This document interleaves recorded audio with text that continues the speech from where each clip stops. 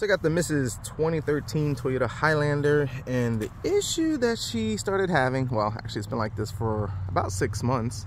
And the good thing is she can't go through the drive through and get Starbucks, so I'm not complaining, but I probably need to fix it. So you roll the window down and it makes this popping noise. And it's quite loud. So let's open this up, see what it is. Maybe something obvious, maybe something easy. Let's find out. So I guess first things first, let's pop this out and uh, take out the screw that's there. I think these are all Phillips. Come on now. Sweet. And now we got to get to this one and then pop this thing out. Rather use a pry tool because, you know, I kind of like this car and I don't want it to get scratched up. So that works fine there. And I think this one should pop out like so, maybe. There you go, just pop it in the bottom and then just nicely, easily pull it out. Bingo. Man, got a bunch of screws here. That should hopefully help us get the door out. Really?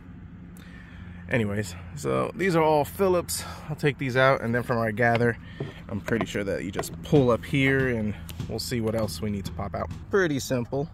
Just gotta pop these tabs off this one over here. So pop that pop that and then that thing slides out. So now we got the pull back and see what we find. So now that we got access just kind of pulled it up and just wrapped it on this cable. Should be fine i guess.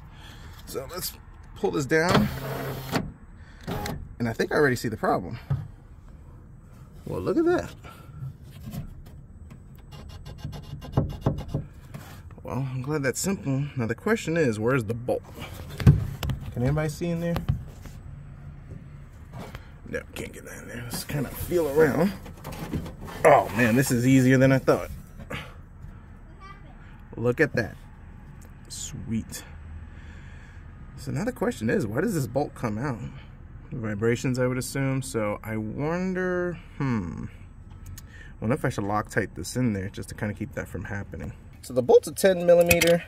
I checked the threads. It does tighten pretty good. So I think what I'm going to do is just add some of the Loctite in there. And by doing that, that'll keep it from vibrating.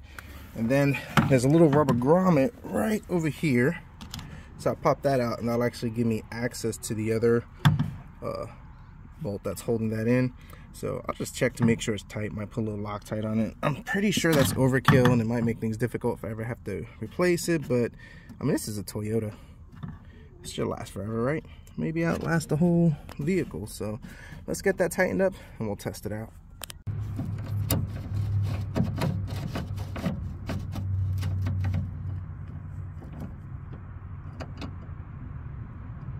So I got that one tightened up and also tightened up this. Just put a little bit of the um, the lock tight thread locker on it.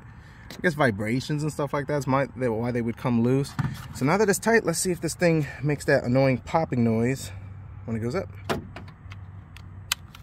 Kind of helps if I, yeah, push and clamp this thing down. There we go.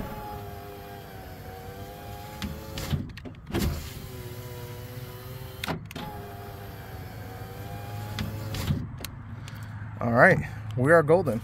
So if you have a Toyota Highlander that is making that weird popping noise, roll down your window, see if you're missing one of the bolts, either there or the one on this side. You could get access to one on this side.